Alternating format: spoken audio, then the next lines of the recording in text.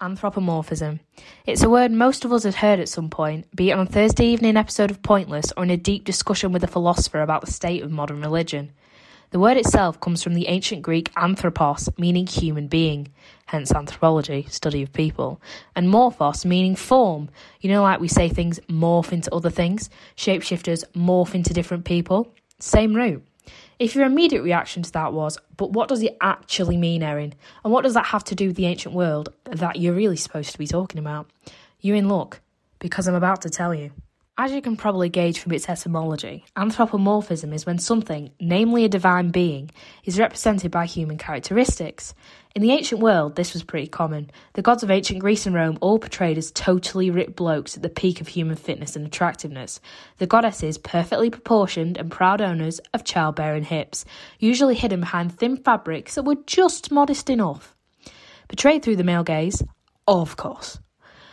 If they'd have been mortal, the pretty privilege would have been insane. That's basically what I'm saying. This artistic choice may have been to make it easier to show which god was which, given the human attributes they were given to individualise them. These humanised representations were seen as a sign of respect and a way to honour these deities the ancient people worshipped, a few very different to that of Christianity. When Emperor Constantine of Rome declared tolerance for Christianity in 313 BCE, it marked the beginning of a very different representational path. Christians believe that their single God should not be represented in human form as he is transcendent beyond anything the human mind could possibly imagine even though he was described as walking with Adam in the Garden of Eden and other such humane instances in the Old Testament, he was mainly seen as a sort of spiritual concept. Something that definitely separates the Christian God from the Greek gods is their method for procreation. Mary was obviously impregnated through the power of the Holy Spirit, making it totally immaculate and meaning God couldn't possibly have human lusts and urges, especially not something as shameful as sex outside marriage.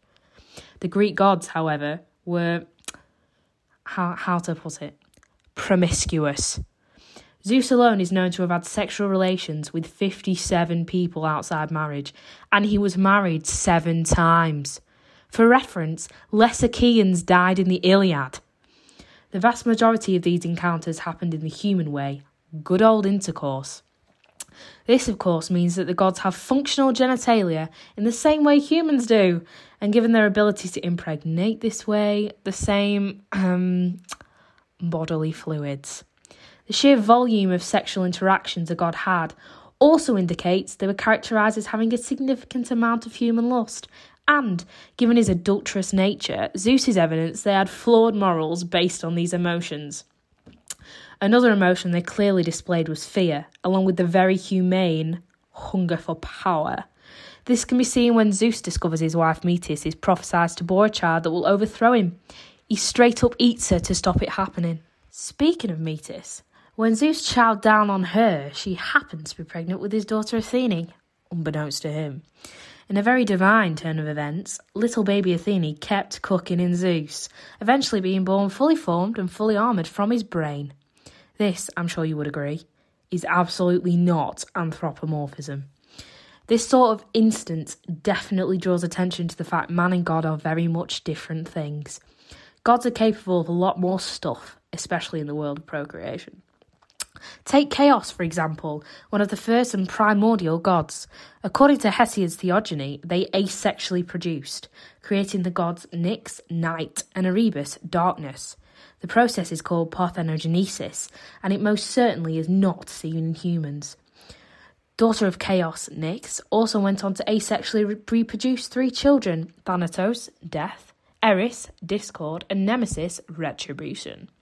These primordial gods, such as Nyx and Chaos, are anthropomorphized a lot less than Olympians like Zeus. Potentially, this is due to them representing concepts that are a lot more abstract and much bigger. For example, the primordial goddess Gaia was thought to be the earth and fully embody it. This is in contrast to the Olympians and gods of later generation, who seem to be responsible for the elements like inanimate objects. Take Helios, for example. He is not the sun itself. Rather, he pulls the sun across the sky in a chariot each day, and is therefore easier to imagine in a human form. Chaos is considered a genu- genderless entity at the beginning of time. similar to Tartarus, being considered a dungeon of torment deep in the underworld, as well as being a primordial god that was born. This is not an exclusive rule, however. When the primordial god Uranus, the embodiment of the sky, was overthrown, he was described as being castrated by his son Cronus, indicating he had human genitals to be severed. Interpretations of this event, from the ancient world all the way to the 1455 painting The Mutilation of Uranus by Saturn, Cronus, by Giorgio Vasari and Gherardi Cristofano, all conclude that the gods were in a human form at the time.